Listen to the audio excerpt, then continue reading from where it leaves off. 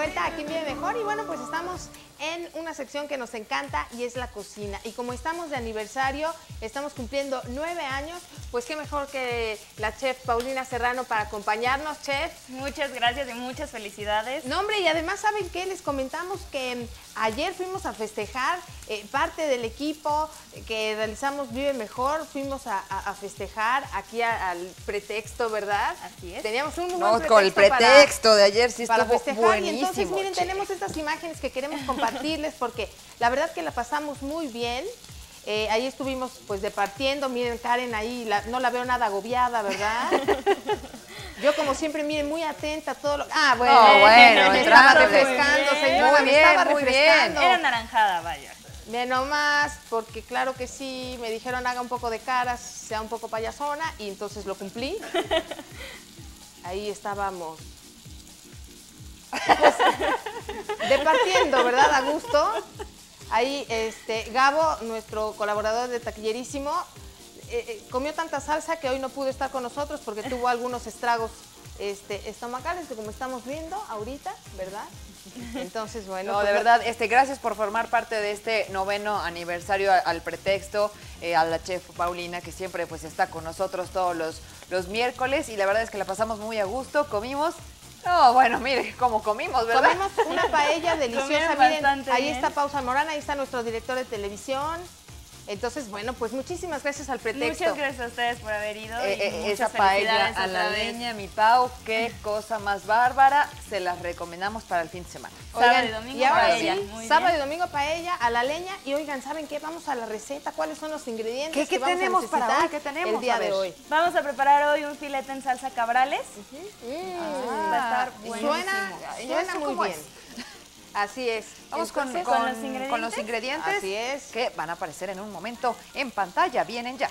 Entonces, un filete, 100 mililitros de salsa bechamel, 100 mililitros de leche, 100 mililitros de crema para batir, 50 gramos de queso crema, 150 gramos de queso cabrales, eh, la cantidad necesaria de sal y pimienta, de sal de grano y de chimichurri. ¡Qué delicia! Así es, entonces vamos a empezar. Yo aquí tengo un poquito adelantado ya el filete. Eh, Sí, porque está por un poco cuestiones de calores. ¿verdad? Exactamente. Y bueno, el chimichurri y la sal de grano lo vamos a usar para marinar nuestro filete. Perfecto. Entonces vamos a agregar, ya sabemos cómo hacer el chimichurri, ya lo Ya, ya lo aprendimos. La clase pasada.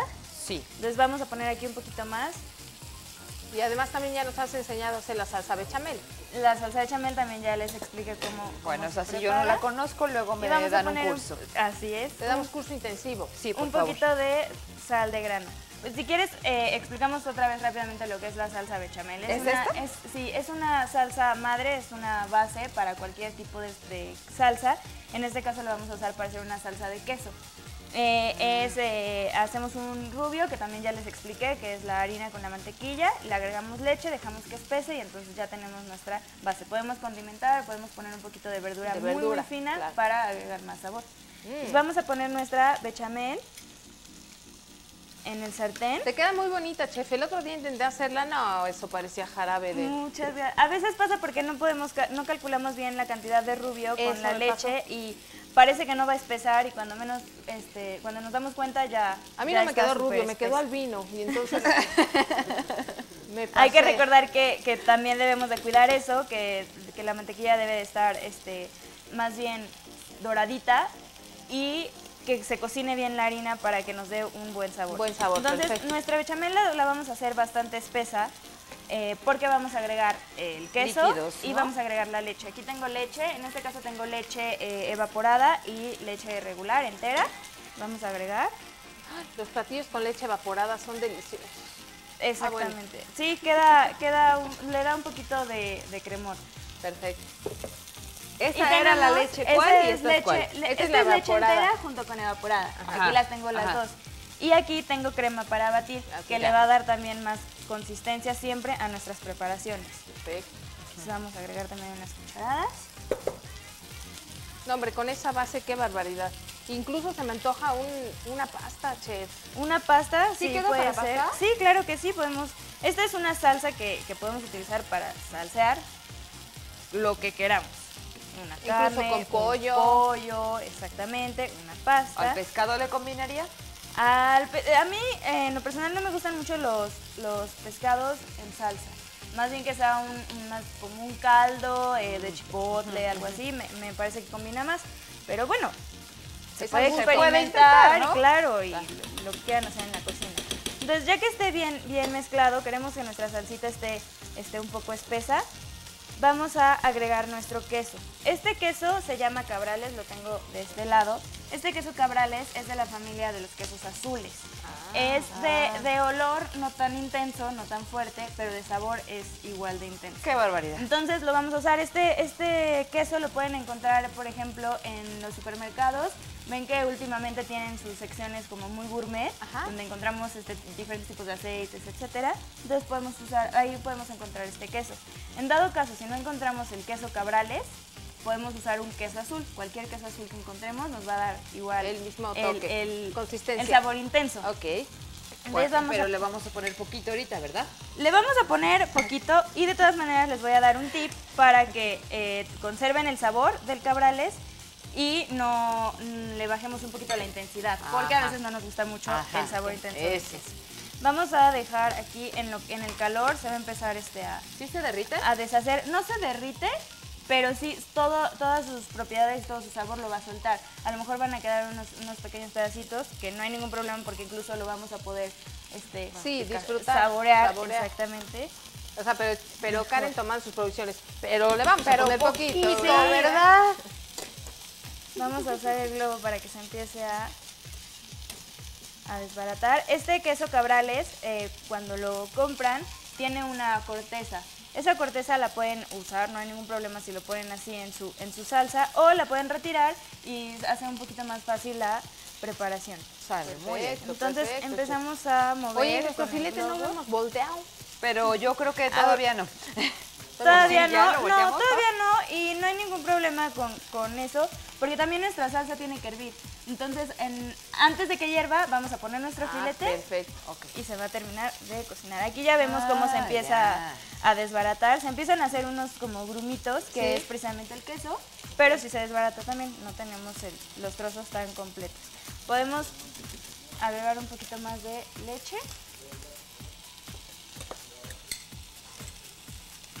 Con, que, Vamos. con eso se le puede bajar un poco lo, el sabor al queso. Con esto se le puede bajar el sabor, que Karen está muy preocupada porque no esté tan intenso Sí. el sabor del queso. Y además nos va a dar consistencia. Hay que recordar que la bechamel, entre más calor, se empieza a espesar. Ajá. Entonces, si lo sigo dejando eh, así, sin agregar más líquido, se va a volver una, Espesa. ¿Como una, masita una masa, exactamente, un tipo engrudo. No queremos O sea, hay que estarla cuidando, entonces. Así es, y moviendo, sobre todo moviendo. Entonces, seguimos. O sea, en esta Ahora sí salsa le no voy se a vale dar la distracción, Una ¿verdad? voltereta. No, no se vale. Eh, Qué delicia, qué chef. bien Además, quedó ¿sabes qué? Que ya, señora Así es, ya queda y señor que nos está viendo el estudio, huele mmm, delicioso. Empieza, empieza a soltar todos los olores y a desprender todo su Ya, todo su ahora jugo. sí ya lo percibo. Nosotros en el restaurante este filete lo hacemos al carbón, como siempre, en la parrilla. Entonces también ese carbón, ese, ese sabor a carbón le va a dar Otro toque. otro toque claro. a nuestro platillo.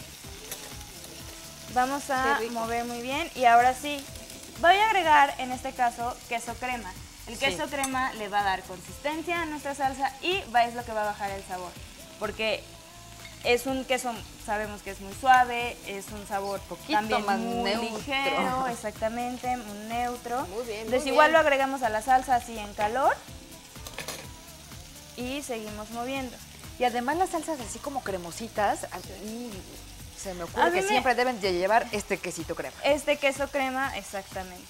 Puede ser también incluso la base para una para otro tipo Sí, de, ¿verdad? de salsa. A veces lo se usa para hacer una salsa, este, yo insisto con el chipotle porque a mí me encanta, pero pero una crema de espinacas puede ser un- una salsa de cilantro también queda muy rica con el queso con el queso crema.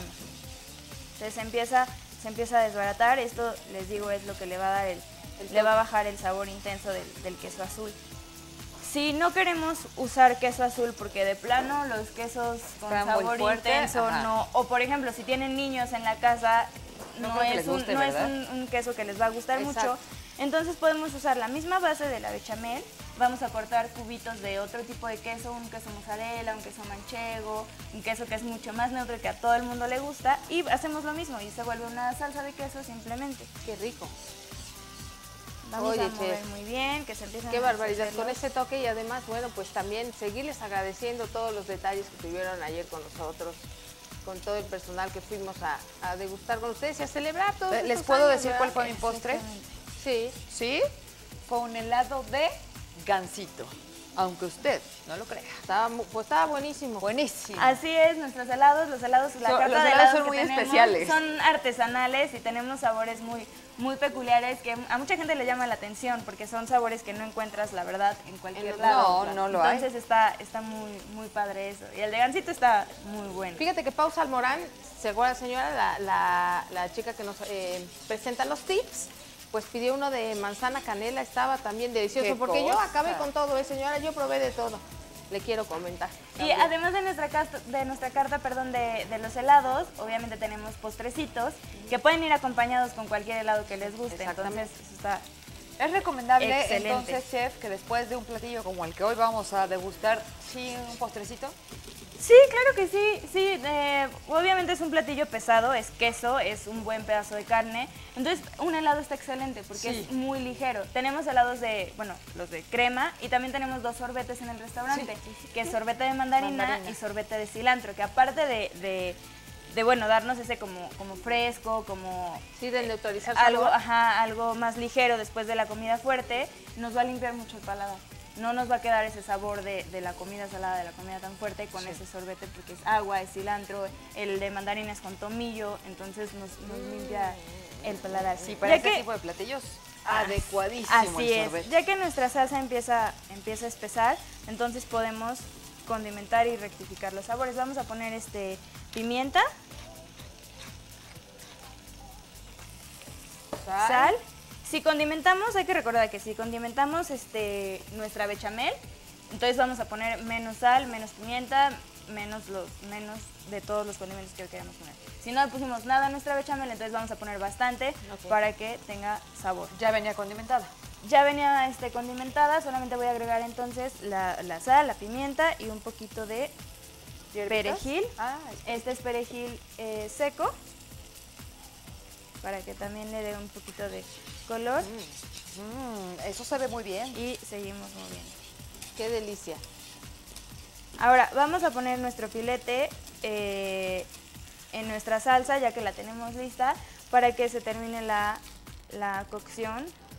Aquí hay mucha gente que le gusta, este, bueno, siempre hemos hablado de los términos, que les gusta medio, que les gusta bien cocido. Entonces, para asegurarnos eh, de nuestra cocción, si quieren medio, lo vamos a sacar poquitito antes del medio, si lo quieren tres cuartos, Para que mismo. termine. Para Ahí. que termine la cocción aquí, ya que nuestra Ya salsa ahí, está ¿eh? hirviendo, exactamente. Eso es lo que queremos. Podemos cubrirlo, al fin de cuentas va a ir esto salseado. Mira nada más, señora, ¿eh? Esto está quedando delicioso. Empieza a oler y luego los que no desayunamos antes del programa, No, bueno. ¿Qué, qué le- qué podemos contarle al respecto? exactamente. Y este filete lo pueden cambiar, eh, si, no, si no, a lo mejor no les gusta tanto la, la carne, decíamos una pasta, pero puede ser también este, con alguna pieza de pollo o algún, algún otro tipo de carne que sea un, un sabor este, neutro, un sabor no tan intenso, lo podemos usar este, también No sé por qué, pero a mí me gusta con la carne. y queda muy rico. ¿Con la qué? Así como está, con, con la carne. Así queda, Sí. queda muy bueno. Ahí está. Pues Así vamos es. emplatando Sí, para, claro que sí. ¿verdad? Para ya mostrarle Pero a nuestras Sí, señoras gracias. cómo va a quedar nuestro platillo del día de hoy. Y además, pues también eh, agradecemos a todas las señoras que nos mandan eh, sus, sus saludos, que ya van haciendo el recetario junto con nosotros, que están formando pues parte de estas recetas, algo diario en su casa. Eso también es muy, muy, muy bonito y se los agradecemos mucho.